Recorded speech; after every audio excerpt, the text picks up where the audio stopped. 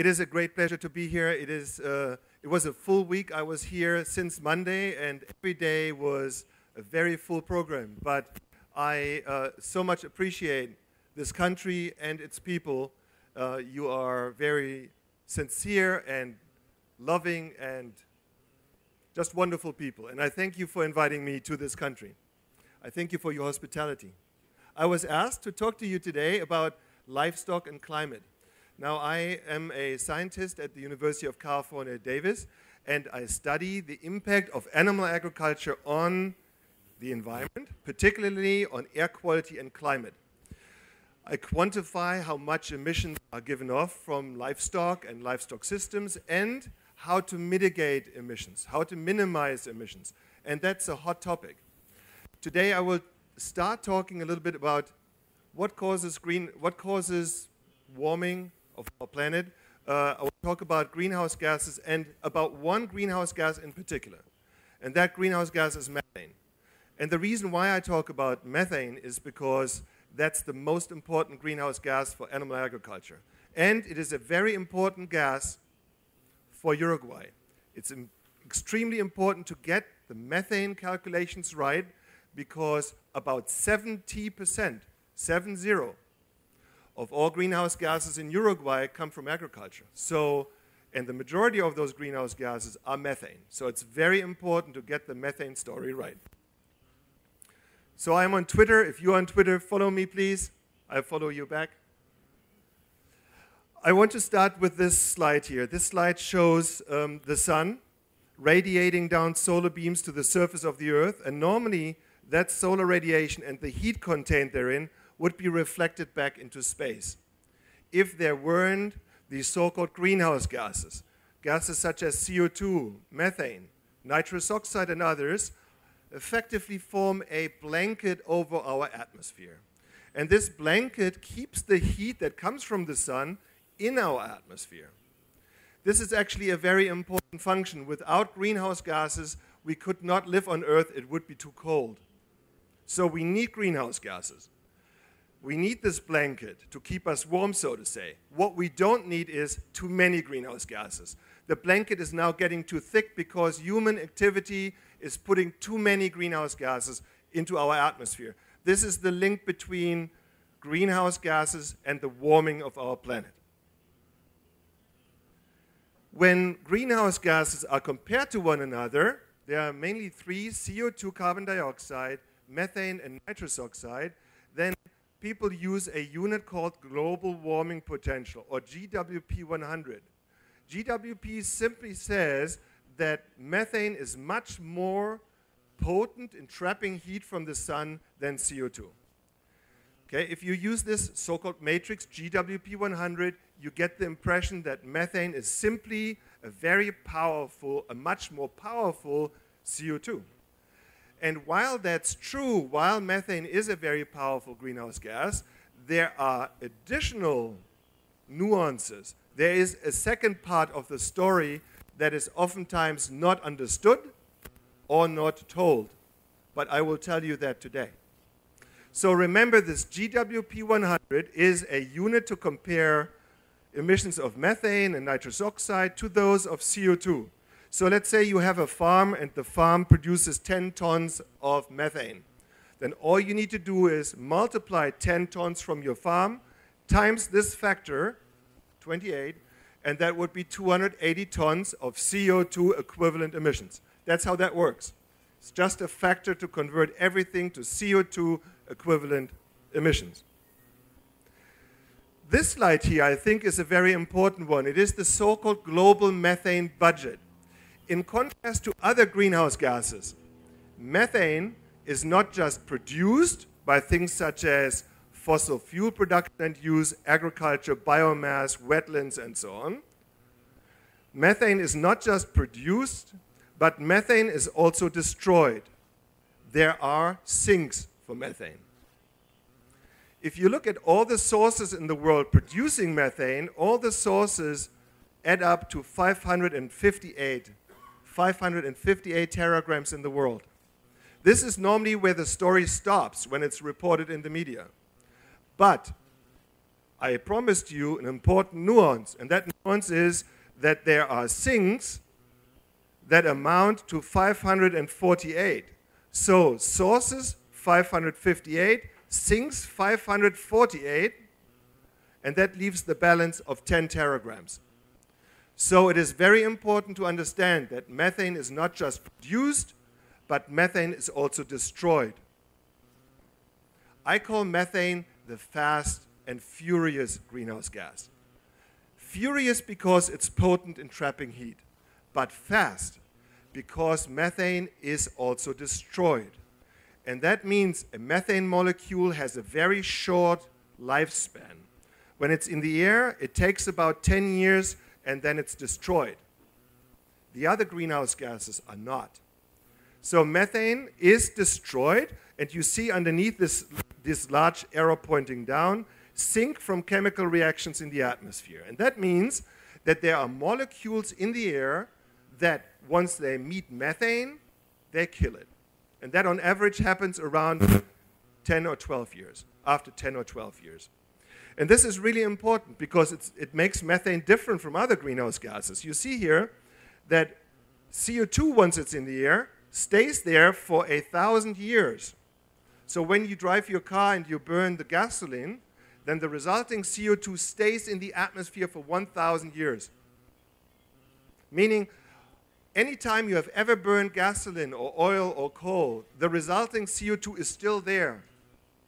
If you burn gas on Monday, it will be there for a thousand years. And additional to what you burned the week prior, and the month prior, and the year prior, and the decade prior, and in addition to what your parents and grandparents burned. Okay? This gas stays for a thousand years, but methane does not stay for a thousand years. Methane is both produced and destroyed. Please remember. And because of it, it has a very short lifespan of 10 years, 10 to 12 years. 10 to 12 years is the length of time methane is in the atmosphere. That's why I call it the fast and furious. I will now walk you through the so called biogenic carbon cycle. This is the cycle that describes where the carbon that becomes methane, where that carbon comes from, and whether or not cattle and other livestock add new and additional carbon to the atmosphere, leading to new and additional warming of our planet. And I will explain also how carbon from livestock is different versus carbon from other sources such as fossil fuels, oil, coal, and gas. It all starts with what plants need to live. Plants need sunlight, water, and a source of carbon. And the plants take the source of carbon from the atmosphere. That's CO2. So the carbon that plants need, plants that our animals eat, that carbon comes from the atmosphere. During photosynthesis, it goes into plants. And then plants make that carbon into cellulose or into starch, carbohydrates, and then our livestock comes along and eats the plant material. The microbes in the rumen of these animals digest the carbohydrates, and in the process, the animal belches out some methane. Here you see the methane. Methane is CH4, that's the chemical formula for methane. The question is is this carbon in the methane? Is that new carbon added to the atmosphere? Is this new carbon added to the atmosphere? And the answer is no, it's not new carbon. It originated right here. This carbon molecule here is not new. It came from the atmosphere, from atmospheric CO2. It changed its form.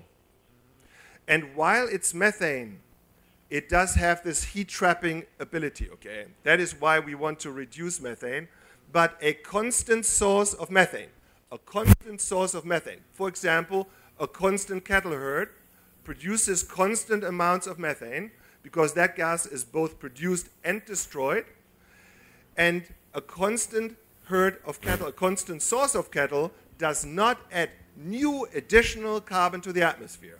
It recycles existing carbon. But that does not mean that we just don't care about methane. It means that we want to keep it stable or preferably reduce it. What we don't want to do over time is increase it.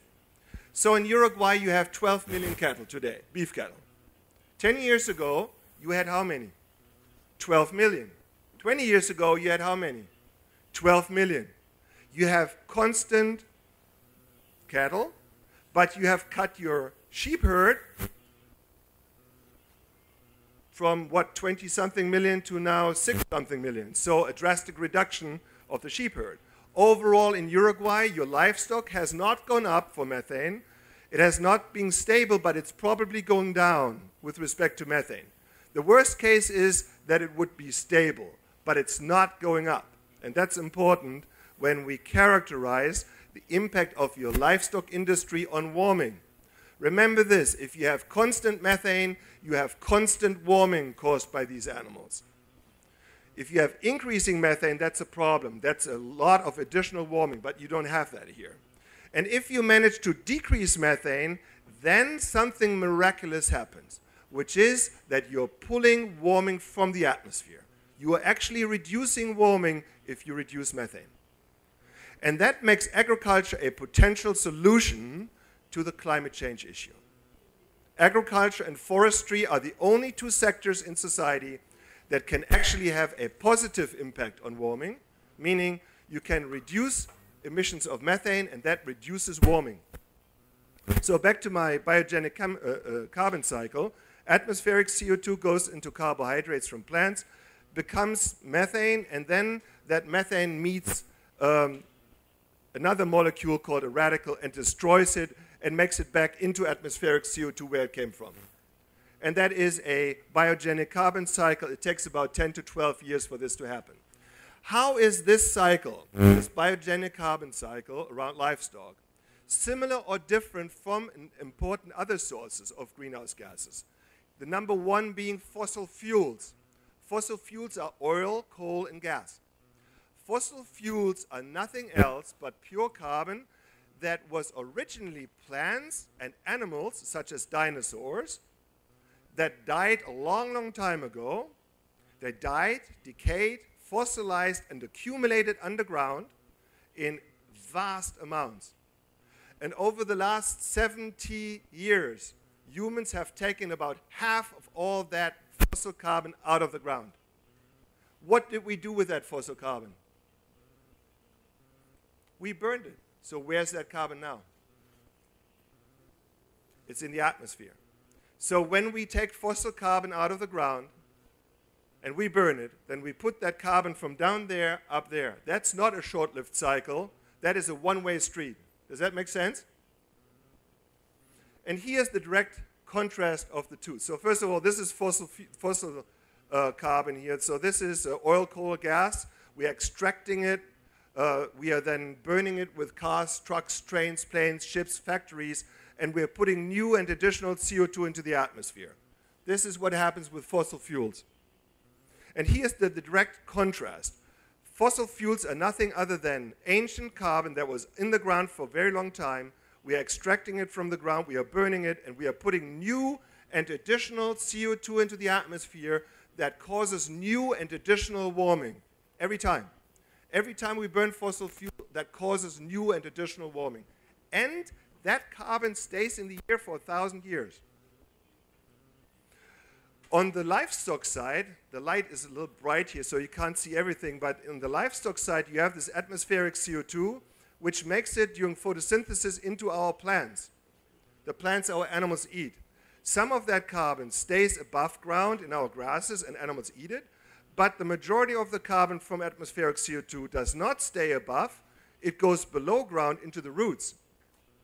And from there, microbes pick it up and store it in the ground, a process called soil carbon sequestration. Really important. Healthy soils, ladies and gentlemen, store approximately 30%, 30, of all human caused carbon and lock it in the ground. Soils are very important. We have to treat soils with great respect. We should disrupt soils as little as possible to keep the carbon in the ground. In my opinion, for Uruguay, it is extremely important that you get a really good feel for how much soil carbon sequestration occurs, that you quantify it because that is an important sink. An important sink. To me, a very important research area for a country like Paraguay, uh, like Uruguay. Sorry, I've been to Paraguay too. So. Um, so you have soil carbon sequestration, but then of, of, course you also have animals that eat the above ground vegetation. Uh, in their rumen they produce methane, that methane is belched out, but 10 years later converted back into CO2. So I hope everybody sees that there is a very different flow of carbon. Uh, fossil fuel is a one-way street carbon, and biogenic uh, carbon is a circular, a circular kind of short-lived uh, situation. So I don't want to bore you with too much detail, but uh, I just wanted to point out that the way we quantify methane currently, using this old unit GWP100, the way we quantify it currently is, uh, is under a lot of uh, criticism. And the reason why it's under a lot of criticism is because the way we quantify methane currently does not account for the fact that methane is not just produced, but also destroyed. And if you don't account for that, then it makes methane look much worse than it is. Methane is not a, not a benign gas. It is a gas we seek to reduce. But it is very important that we use the right way of quantifying its impact on warming. Because if we hold methane stable, then we don't add additional warming. If we reduce methane, if we reduce methane, then we are pulling carbon from the atmosphere, much as if we were to plant forests that also reduce carbon, right, during photosynthesis. So I'm not here to tell you methane doesn't matter. I'm here to tell you, in my opinion, methane is a major opportunity. Because if we manage methane and reduce it, then we are part of a climate solution because we can reduce warming. Only agriculture and forestry can do that. No other sector of society can. So I'm telling you, don't be afraid of the whole climate discussion, the methane discussion. Change the way you think about it. Think about losing methane as losing money because what you feed to a cow or to a sheep or so, about 10% of the energy you feed to these animals gets lost as methane with no benefit to you and with an environmental burden associated to it. You don't want to lose methane from the animal. You also don't want to lose methane from the animal's manure. If you reduce methane, you reduce financial losses and you, of course, do what's right for the environment. The question is, can we reduce methane in any major way? And the answer to that is a very clear yes. In California, where I live and work, we have very strict laws. One of them mandates a 40% reduction, 40, 40% reduction of methane to be achieved by the year 2030, so very soon. At first, our farmers were very skeptical and scared. They said, how in the world can we reduce methane by 40%? Our animals will always belch. Their manure will always produce methane. What was very uplifting to me was to see that our policymakers did something very smart. They said, yes, we want to reduce methane by a lot, but we want to achieve that by helping our farmers financially to make these reductions possible. So the state of California worked hand in hand with our farming community to put in technologies to reduce methane. I give you one example, dairies. California is a very strong dairy state. We are producing 20% of all milk in the United States. You see here a dairy. Um, so this dairy has about 1,000 cows. And normally, this year would be the place where the manure would be stored in an open fashion. This is called a lagoon. So normally, a manure lagoon is open and the gases go into the air. Now, they are covering the lagoons, and you can see this here. They're covering the lagoons, and you see how the plastic, how the cover is bulging out. The gases that come from the manure are called biogas, and 60% of that biogas, 60, 60% of that biogas is methane. And methane has a lot of energy in it. You could burn the biogas and make power from it. electricity. But that's not what our farmers do. Our farmers are taking the biogas from the animal manure, they're taking the biogas and convert that biogas into renewable natural gas, which is a fuel for vehicles, for large vehicles, semi trucks, and buses. And the state of California appreciates this pathway from dairy biogas to transportation fuel as the best, the most carbon negative fuel type there is. So we, we already had over 100 large dairies doing this. This is not cheap, by the way, but the state helped pay for it. Several, you know, dozens of dairies have done this, and this one technology alone has already reduced the methane footprint of California dairies by 25%. Of all public investments in California to reduce methane, the dairy industry received 3% of all money. 3%. But those 3% of public investments led to a 30% reduction of methane in the state of California. 3% of public investments led to 30% of methane reductions in the state of California. Now, that's a great success story. Because if you reduce methane by so much, you are pulling carbon air, and that generates what's called negative warming. Negative warming is a fancy word for cooling. If you reduce methane by a lot, you're pulling carbon from the air, which has a negative warming effect. And that reduction of methane can counteract other greenhouse gases, getting dairies to become what we call climate neutral, meaning these dairies in a few years will not contribute to any additional warming of our planet.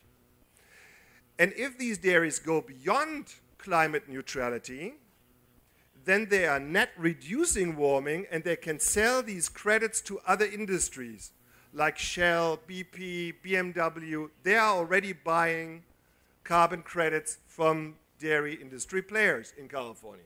We have a functioning market, a carbon market in California, where people can now financially benefit from reducing greenhouse gases.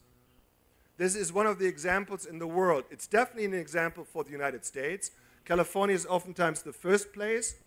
Very soon it will happen all over the United States. In my opinion, you will also, at some point in the, in the I hope not so far future, have a carbon market. And don't be afraid of that. View this as an opportunity. This is not a liability, it is an opportunity if you do it right. If you view a reduction of greenhouse gases the way it should be, you could benefit from it on all accounts. And I think this is really important to you because 70% of all greenhouse gases in this country are agriculture related, and the majority of that are methane related. Okay? So reducing that gas will become very important. But I think that you are in very good hands. You have excellent scientists, you have excellent industry associations, you have groups that are working together, you have ministries that are working together.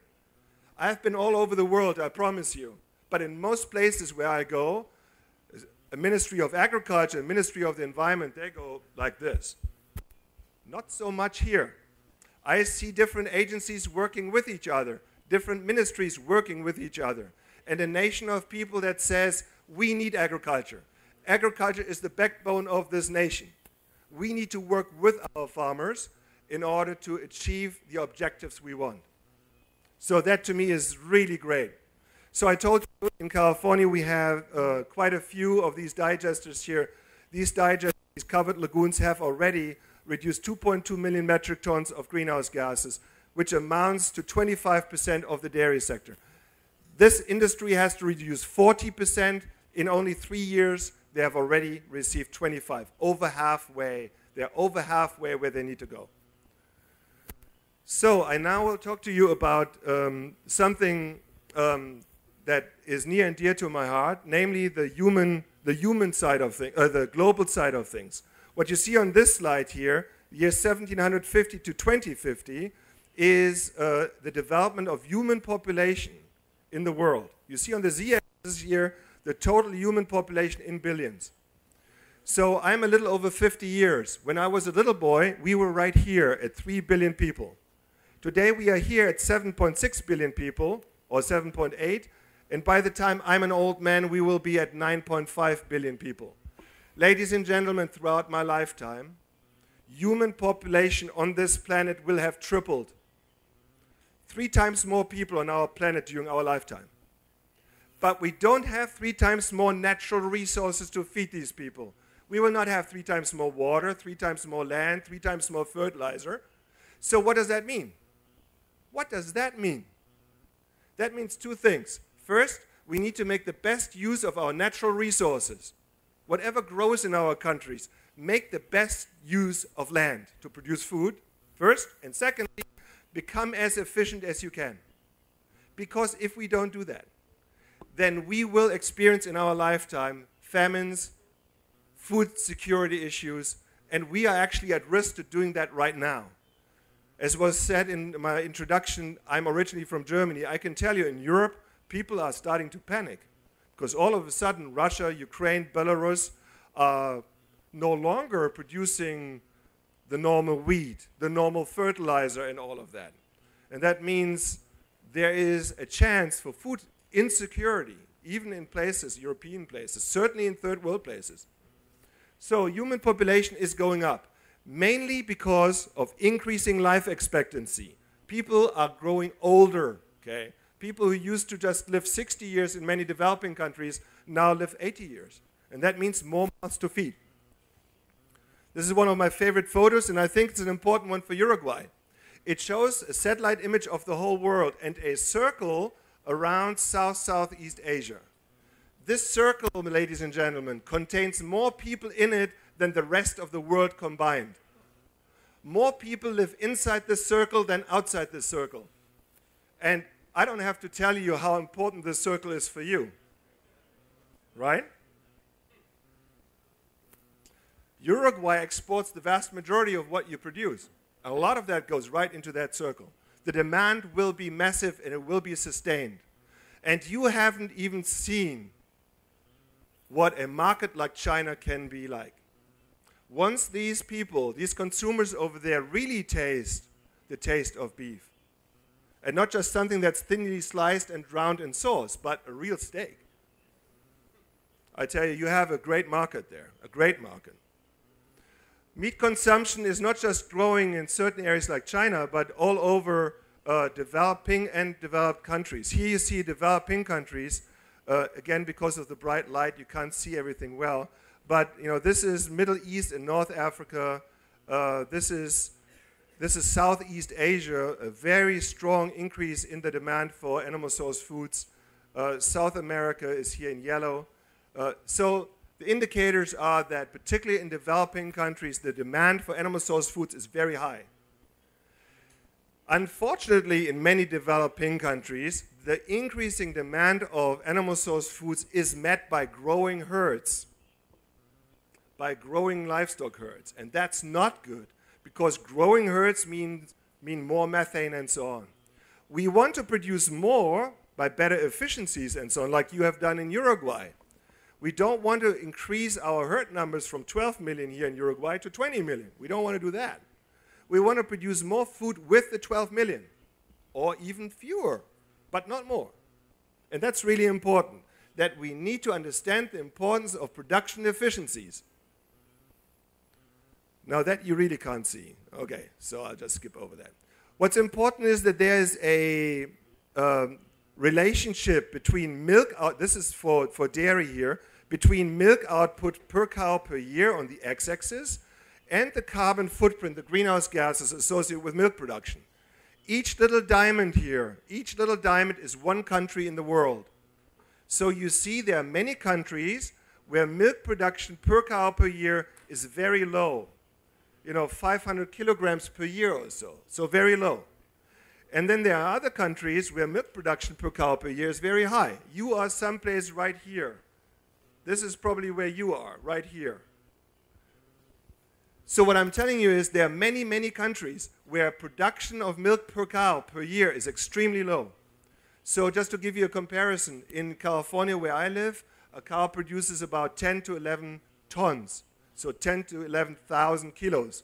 You see how many countries there are that produce 500 kilos, that need 20 times the number of cows to produce the same amount of milk as one cow that we have in California. And that leads to vast herds of animals. So, for example, in the entire United States, we have 9 million dairy cows. 9 million. In India, there are 300 million.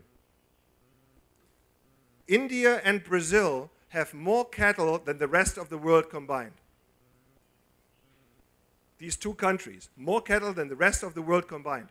And in the case of India, unfortunately, animals are extremely inefficient, producing dismal amount, tiny little amounts. And that's why the herds are so large. That's a problem.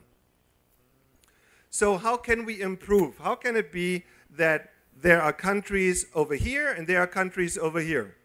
Well, the countries over here have done the following. They have improved reproduction of animals. They have improved the veterinary sector, so preventing diseases or treating diseases. They have improved the genetics of feed plants as well as animals, and they have learned to feed more energy-dense diets. These, this combination of factors in many developed countries has shrunk the livestock herds drastically. That, I think you are in a transformative stage right now where it's starting to happen, but in a place like the one where I live, it's, we're at the end of this process. We have drastically shrunk um, emissions of animals. We have drastically increased uh, production. So, for example, um, just to go back here a little bit, uh, on the poultry side, uh, broilers, for example, if you look at feed conversion here has drastically reduced. Mortality rate has been drastically reduced. The age these chickens live has drastically reduced from 112 days in 1920 to now 40 days, and so on. The same can be shown for anything. This is pork production in the United States. It has tripled. The output has tripled, but the inputs have remained the same. On the beef side, we used to have 140 million beef cattle. Today we have 90 million. So we went from 140 to now 90, but we are producing the same amount of beef today with a much smaller herd. On the dairy side, we used to have 25 million cows. Today we have 9 million cows. But with a much smaller herd, we are producing 60% more milk. The carbon footprint of a glass of milk has shrunk by two thirds through improved efficiencies. There are other places, I spend a lot of time in China, or I used to spend a lot of time in China before COVID hit and before African swine fever hit. Um, just a really quick mentioning here. Half of the world's half of the world's pigs are produced in China. A staggering 1 billion pigs are produced in China. But what I find more amazing than that number, a billion pigs produced per year, is the fact that in China, which I consider quite a quite a modern country these days, that in China, of these 1 million pigs, they have a 40% mortality. 40% of all pigs produced in China die pre-weaning. The pre-weaning number here, 400 million pigs, is larger than the entire United States pig crop. That's what they lose. And that's China. Now, India or African countries are way, way, way worse than that. That is the reason, ladies and gentlemen. These inefficiencies and these production problems are the reason why the Intergovernmental Panel for Climate Change, IPCC, says that 80%, 80, 80% of all global greenhouse gases associated with livestock occur in the third world. 80%. And please don't misconstrue this as me saying, as me pointing fingers at others. That's not my intent. But my intent is to show that there's a vast area, uh, a potential for improvement, particularly in developing countries. So, um, I have a couple more slides. One slide here that describes something that I'm asked a lot. Namely, okay, Frank, you say we, we can improve agriculture and we can reduce emissions, but shouldn't we change what we eat? In a country like the United States and many European countries, plant-based alternatives are promoted. Impossible Burger, Beyond Meat, and so on and so on. So people ask, can production and consumption of that have a major impact? Or shall we become vegans to save the planet from climate change? Here's some numbers for that.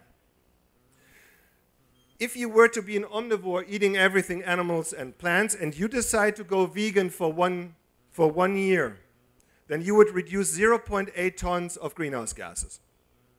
0.8 tons. Now you'll ask, is that a lot or not? Let's contrast that with one single flight per passenger from North America to Europe, which generates 1.6 tons. In other words, if I fly as one passenger from the United States to Europe, then I generate twice the emissions with that flight than I would save going vegan. So I would have to go vegan for two years to offset one flight to, to Europe. And I promise you I will not do that, okay? I just want to show you uh, how relatively dismal that impact would be. If the entire country of the United States were to go meatless Monday, like some people promote, I heard it was promoted in Argentina recently, going meatless Monday, that would reduce the carbon footprint of the United States by 0.3%. That's the total impact of a meatless Monday. If the entire United States were to go completely vegan, all 330 million North Americans, it would reduce the carbon footprint of the United States by 2.6%. That's it. It's not nothing, but certainly close to nothing. What generates 80% of our emissions in a country like the United States and most European countries is the use of fossil fuels, oil, coal, and gas, by driving cars, trucks, trains, planes, ships, factories, and so on. It's not that animal agriculture doesn't have a contribution. We do have one. We know what it is, and we know how to reduce it. And if we reduce it, we can be part of a climate solution. Okay, that to me is very important to impress upon you. So, if you are interested in what the worst impact of our food system is on the environment, it's depicted on this slide. The worst impact of our entire food system on the environment is caused by the things we don't eat. 40 40% of all the food grown in the United States is never eaten. 40% of all the food produced in all developing and even, sorry, in all developed, but even in all developing countries worldwide is never eaten.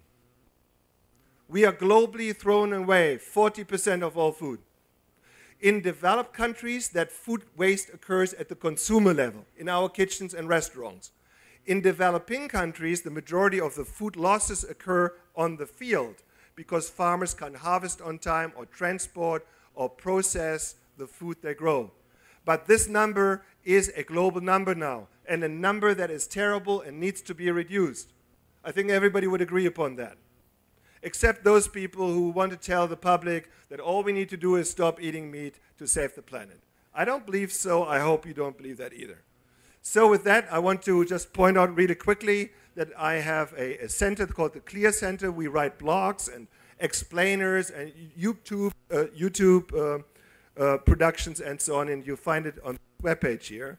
And uh, with that, I come to a close, and I'm very happy to entertain any questions that you might have. Thank you very much.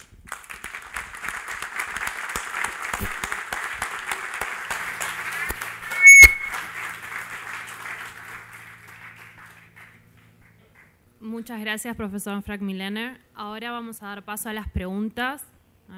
Ignacio va a estar eh, pasando el micrófono para aquellos que quieran realizarle algunas preguntas. Tenemos algunos minutitos. No sé quién quiere empezar. Ah, ah. ah aquí tenemos la presencia del secretario de la República, Álvaro Delgado.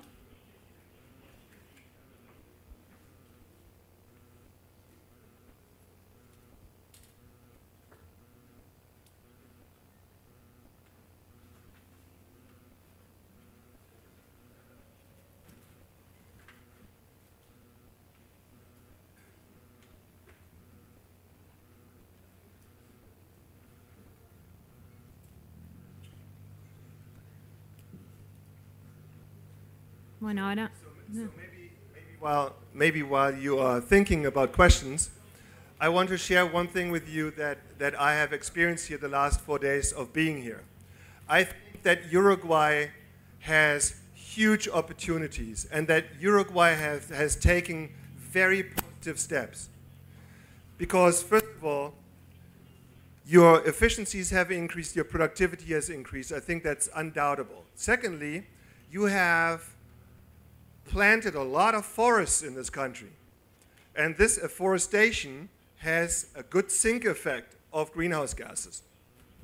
A third point that I have observed is that you have a phenomenal rate of renewable energy in your energy mix. Well over 90% of all the energy you consume is from renewable sources. Let me assure you, this is not just something that's nice for the environment, this is also something that's very important for your national security.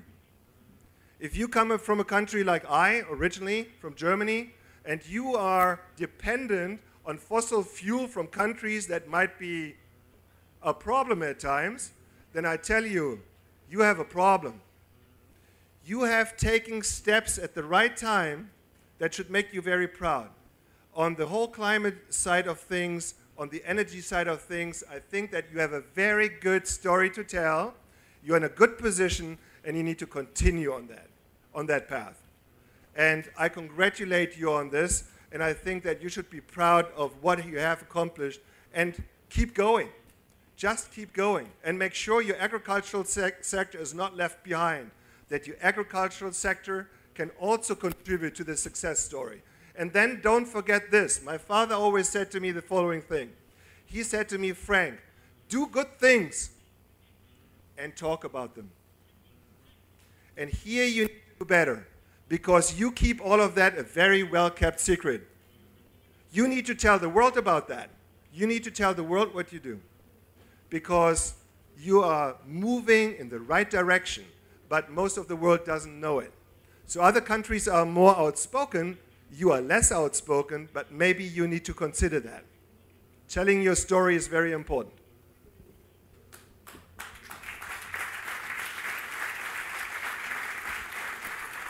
Bueno, dado que no hay que romper el hielo, voy a hacer una primera pregunta, Frank. El, el, argumento que tú usas es relativamente simple y es sorprendentemente simple, que es el metano es una molécula inestable, se destruye en 10 años o 12 y el CO2 dura mil años. O sea, parece muy lógico y muy simple desde el punto de vista físico-químico. Suponemos que hay una buena ciencia que demuestra eso. ¿Por qué crees tú que el panel intergubernamental, el IPCC, ¿no? intergubernamental de cambio climático, ha demorado tanto tiempo en reconocer que es un ciclo que se destruye y que cicla y que si uno tiene una fuente estable de metano no contribuye. O sea, ¿por qué si la ciencia parece ser relativamente simple o clara? So the issue is that, as I said, methane is a potent greenhouse gas. But the question that we have or should have is not necessarily is not necessarily one of I get strangled here. the question is not so much one of how, how much emissions are produced, but what these emissions do to warming, okay? What they do to warming. If we want to know what a gas does to warming, then we need to see what the changes over time are. So if you had emissions of methane here, and over time you go here, then that means you now have fewer emissions, and that means you have pulled carbon out of the air. And if you pull carbon out of the air, then that reduces warming the way that was quantified in the past does not characterize for the dynamic of particularly methane on warming. In my opinion, and many of my colleagues share that opinion, if you want to characterize the impact of a gas on warming, then you need to have a unit that's fit for purpose to describe the impact on warming. And thankfully, there, there are now units that do that. But there's a lot of what we call inertia. Okay? We have done things the same way for the last 30 years. It takes a while to change people's mind and get them to accept that science progresses, that it advances. Science is advancing, and in the case of methane, I think it works very much in favor to those in agriculture who understand that methane is an opportunity. If we keep it stable or reduce it, then it's not part of a problem, it can be part of a solution.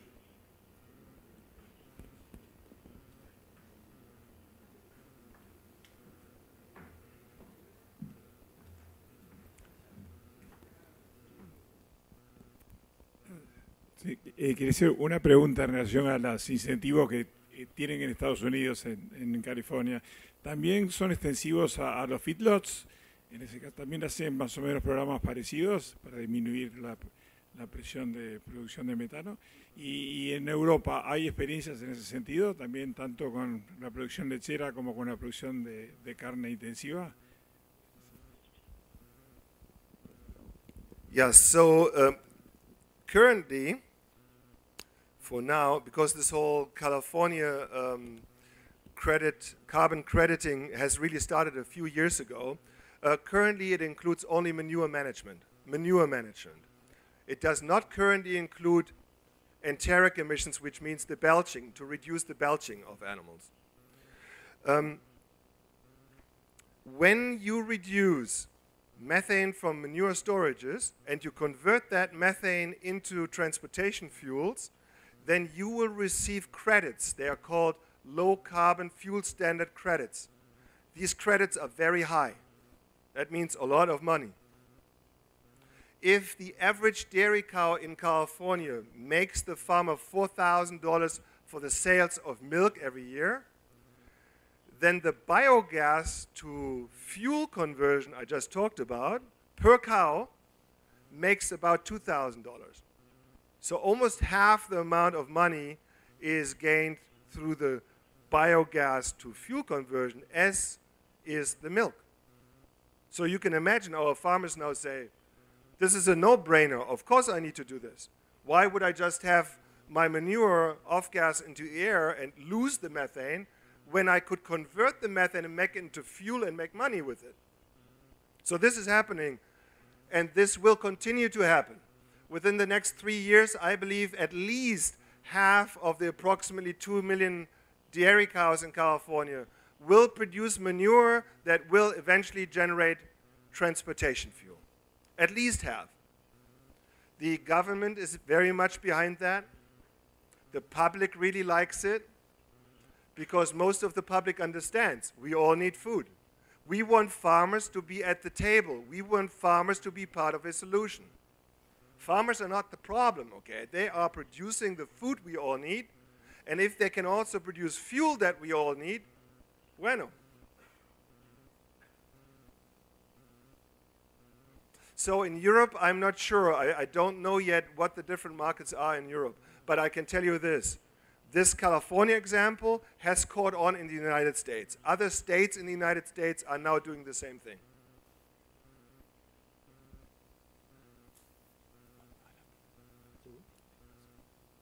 Eh, gracias. Eh, muy ilustrativa su, su charla. Eh, mi pregunta es, Uruguay produce la mayor parte de la carne y de la leche a pastoreo, a campo, a cielo abierto. Sabemos que el manejo adecuado del rodeo y de la pastura puede mejorar la, la cantidad de materia orgánica en los suelos. Creemos, o al menos yo pienso eso, que eh, es una muy buena forma de capturar el carbono, ese que está sobrando en la atmósfera. Y la otra pregunta es el caso de los biocombustibles. El hecho de usar biocombustibles procedentes de la, la materia orgánica producida sobre, por la agricultura, si eso también puede ser eh, mecanismos de reducción de la emisión de carbono. Yes, so um, to your first question, um, the situation you are in with respect to reducing greenhouse gases from animal agriculture is a tough one because your animals, in contrast to our animals, let's say in California, the rest of the United States, are mainly on pasture. So you don't have access to those animals every day. You don't feed them, they feed themselves. You don't collect their manure, they just drop it and it falls off on the field. So that means you have less of the opportunity of feeding, for example, feed additives, feed additives that reduce methane. You don't really have the opportunity of collecting a lot of gas from manure storages. Right? At least most people don't. If you have a dairy and you collect your manure, you can do the same thing as I just described. If you feed your cows yourself, there are feed additives that reduce methane. But under your conditions, the best way for now is to increase soil carbon sequestration, and you described that. That's one. The second one is to improve other production parameters. For example, if in the past, let's say beef animals lived five years and then you improved, let's say forage or you improved reproduction or so, and now the animals don't live five years, they now live three and a half years before they go to slaughter, then that means you have saved one and a half years of this animal life. That means it has eaten one and a half years less and had one and a half years less water to drink, it belched one and a half years less, and so on and so on. It reduces the environmental footprint if and when you increase the performance of those animals. And that is what you have already been doing. Your cattle herd is stable, but your productivity has gone up. When productivity goes up, environmental footprint goes down. Just like with your car. When you buy a car that's more fuel efficient than the old car, then more fuel efficient means you can drive the same distance with the new versus old car. But the new car needs fewer gas to get from one place to another, and with it, fewer emissions. The same thing as fuel efficiency occurs in feed efficiency and in our livestock systems. And I think you have room to grow on forage management, on reproductive management. Reproductive rate is a, is a big deal here, I understand. Um, and so there are definite, definitely different ways you can improve performance and productivity and therefore reduce emission intensity.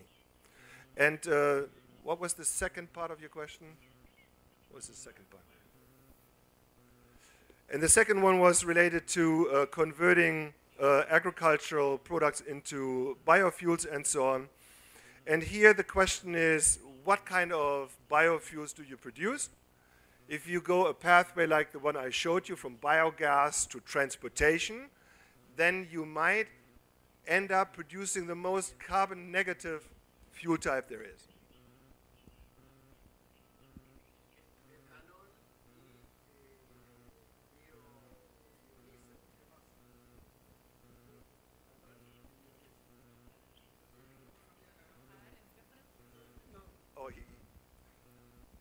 El, et- la producción de etanol y la producción de biodiesel que se estaba incorporando a los eh, combustibles fósiles. So uh, ethanol and biodiesel are a different story, okay? I'm not uh, well versed on this, but what I can tell you is when I see ethanol from corn or from sugarcane and the environmental footprint of that versus the environmental footprint of regular gas, regular gasoline, then I have seen some data that didn't really show a big difference. Okay. So it's not my area of expertise, so I will not comment on this any further, but I know there's a lot of criticism. In the United States, 40%, 40, 40% of all corn is made into corn ethanol and burned in our vehicles as gas. 40%. There's now a lot of criticism mounting whether or not that's a good use of uh, food growing areas. That's just, that's, I, I just state that as, you know, in general, that's, uh, that's viewed as critical by many, except for the people growing the corn.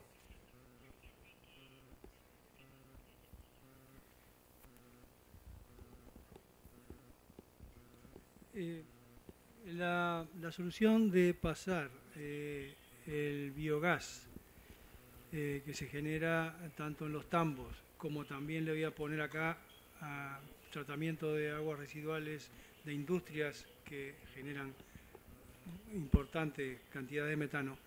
Eh, aquí tenemos el problema de que no hay una infraestructura, no hay una cultura en eso y cada uno tiene que hacer su propia inversión para aprovechar ese biogás.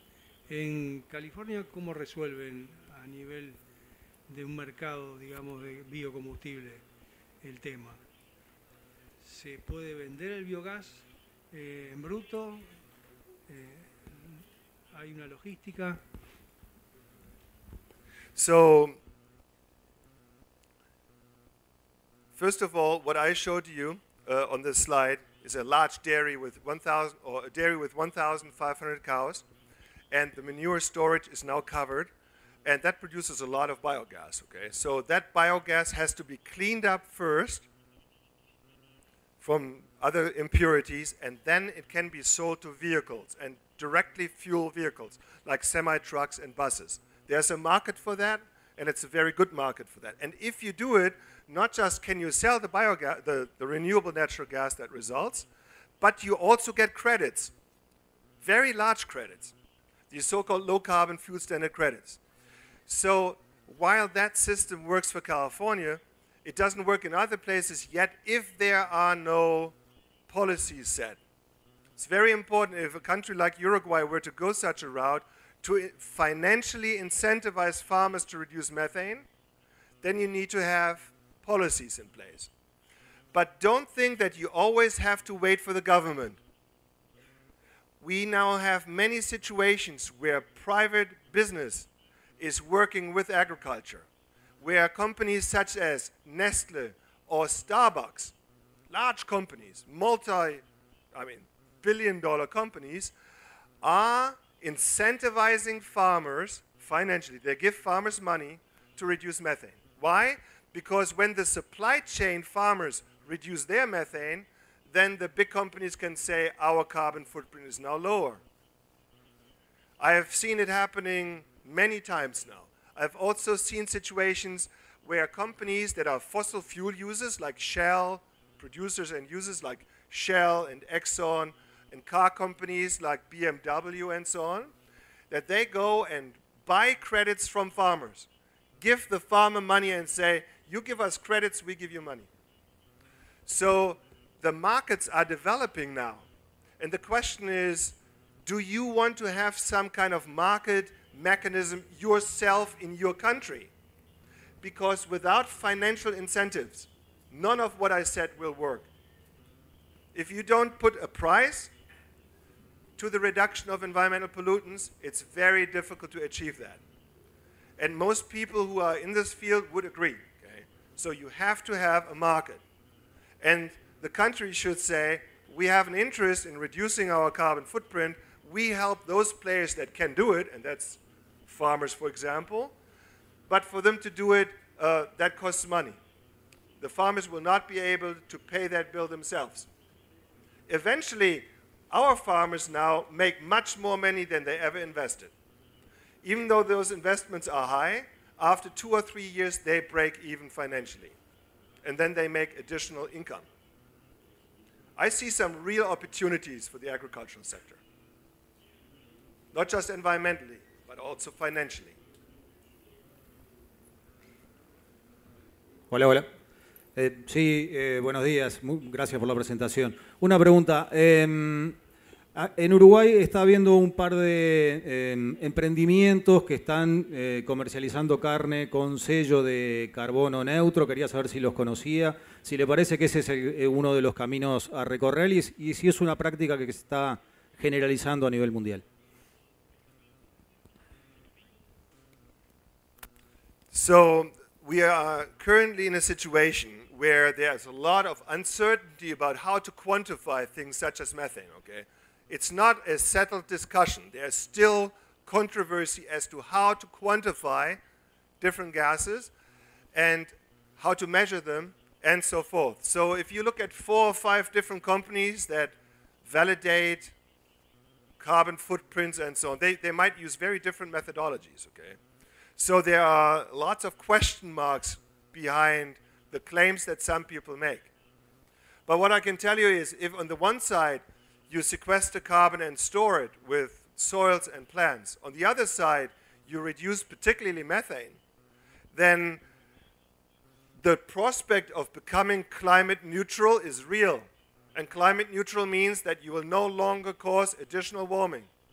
And if you go even beyond that, then you become carbon negative, and that means you are now pulling carbon from the air, and you can sell those credits to those that need them, fossil fuel companies. This is happening. I'm working as we speak with the California dairy industry on showing them what they need to do to become climate neutral.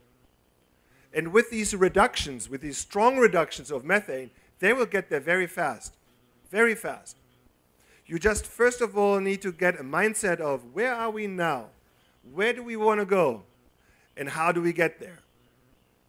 And how do we get there? So individual companies, I think right now have uh, are ambitious, and it's important to be ambitious, but it's very difficult to verify whether what they say is true. So this will take a while. It's a brand new, it's a brand new scenario. Muchas gracias a todos por las preguntas. Muchas gracias a nuestro expositor Frank Millener. Eh, quiero agradecer por, por, toda la semana que tuvimos. Eh, fue una agenda muy intensa. Eh, nos hemos juntado con ministros, con técnicos del Grupo de la Huella Ambiental, luego también con investigadores de la academia, una actividad junto a ANI. ¿sí? Y bueno, y hoy en la tarde también estaría visitando a INIA para finalizar lo que fue esta semana de tener el honor de, contar con la presencia de Frank Millener en Uruguay. A su vez, antes de terminar, quiero, eh, queremos invitarlos a, vamos a tener un brindis con, una parrilla, así que los invitamos a, quedarse y a la prensa que si quiere hacerle alguna nota a... ah, sí. Sí, claro, claro, señor ministro.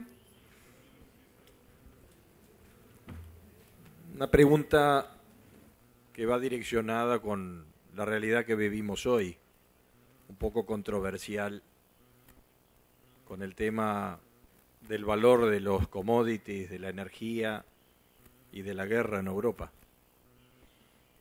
que usted la debe acompañar y sentir muy de cerca porque de su ciudad de origen a pocos kilómetros están estallando las bombas y hay una, una crisis humanitaria asociada.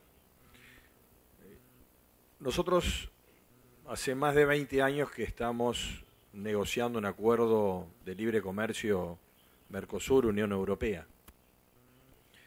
Y este acuerdo no ha avanzado por una cantidad de requerimientos o de reglas de protección ambiental que Europa le exige al Mercosur que imponga. Eso también tiene un aspecto de que nos ponen a todos en la misma bolsa y, no somos todos iguales en el Mercosur. Pero la realidad es que esta exigencia de carácter ambiental, que está muy influenciada por una influencia política de los partidos verdes en Europa muy intensa, eh, encierra al final una especie de contradicción, porque usted como alemán sabe que Alemania quedó muy dependiente de la energía rusa y que hoy como forma de compensación, se generaron dos medidas muy sorprendentes. Una, intensificar la generación de energía a través del carbón, el carbón mineral, que es de los aspectos más contaminantes que hay para la atmósfera, y por otro lado, la reciente autorización de mi colega, ministro alemán, que además de vegano, que no es una mala condición, es una decisión de él, pero además de eso, eh, es verde, recién autoriza la plantación en tierras de protección ambiental, de reserva ambiental. Es decir, tal la necesidad que existe de generar mayor producción, que no solo Alemania, pero Francia también ha, tomado la misma medida, de forma que aquellos parámetros de defensa de los aspectos ambientales, cuando existe una necesidad, ya no son tales. Entonces esto encierra una especie de contradicción e hipocresía de carácter político internacional, como hemos visto tantas veces cuando se pretenden imponer reglas que después esos principios en función de la necesidad pasan a segundo plano. Entonces, todo este aspecto internacional, y como usted al mismo tiempo es de origen alemán y vive en Estados Unidos, nos gustaría bien una reflexión de este momento que estamos viviendo lo saco un poco de tema, pero tiene que ver con muchos de estos temas de su propia especialidad. Yeah, you are absolutely right. I am very concerned about what's happening these days. I would have never thought, or I had hoped I would never experience a situation where Europe would get into another major war. Um, you might think of this as just being a war between two countries, but Europeans don't feel that way those people in, uh, in the Baltics or Poland, they feel they could be next. Um, so the security situation in Europe is fragile right now, okay? And all these countries, like Germany and others, they felt there is just no problem anymore with respect to security. And all of a sudden they feel, oh my gosh, there's a problem. Germany has 300 tanks left, 300 tanks, and 200 fighter planes. They thought they never need tanks again. And now they're waking up saying, oh my gosh, we need thousands of tanks. They will all invest into rearmament, guarantee. we will see a new race for weapons in Europe, in other parts of the world. We will see a reprioritization with respect to goals that countries have. Just five months ago, the world was focusing on what I just talked, talked about, climate, you know, uh, biodiversity and all these things.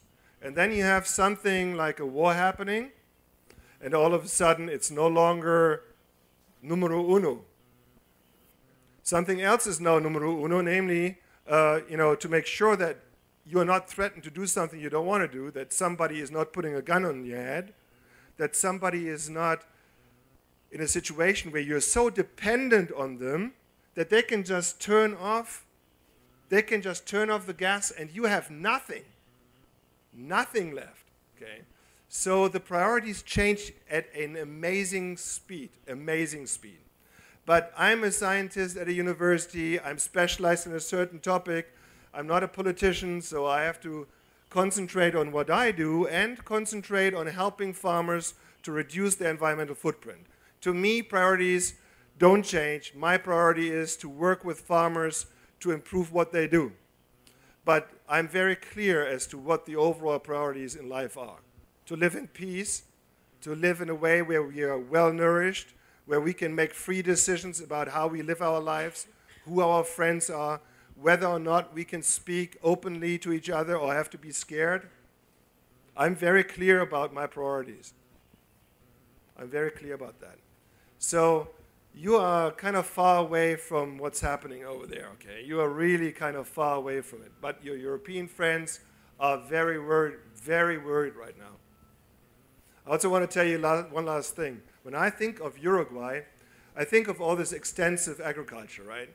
And some people are critical of that. They say, well, we should be more intensive and so on. No, I think that you are making the best use of your natural resources. You are making the best use of your natural resources, many of which are marginal lands. Using ruminants on these lands is a very good thing. And you are supplying much of the rest of the world with food that they seek to have. 70% of the food you grow goes into other countries.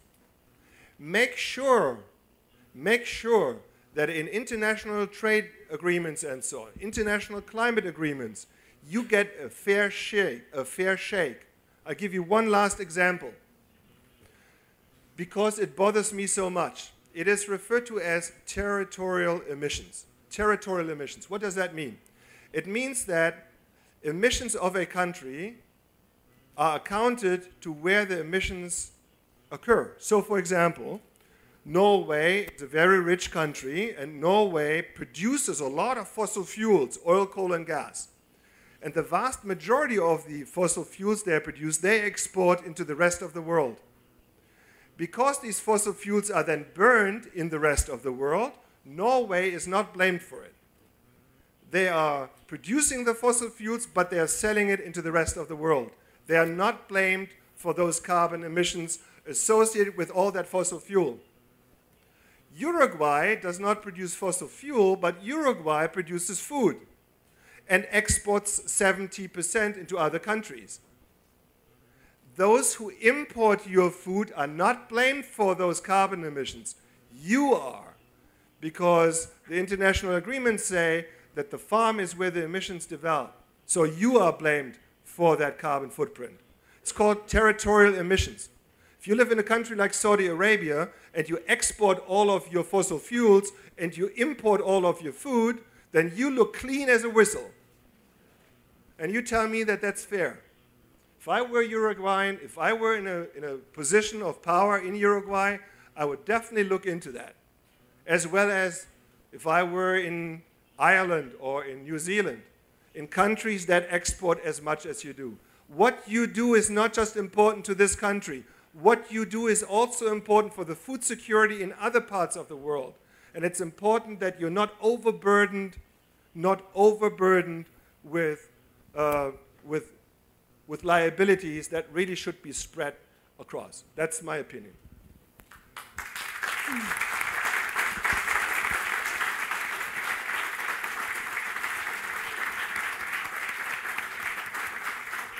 Muchas gracias, profesor Frank Mitloehner. Muchas gracias a todos por venir.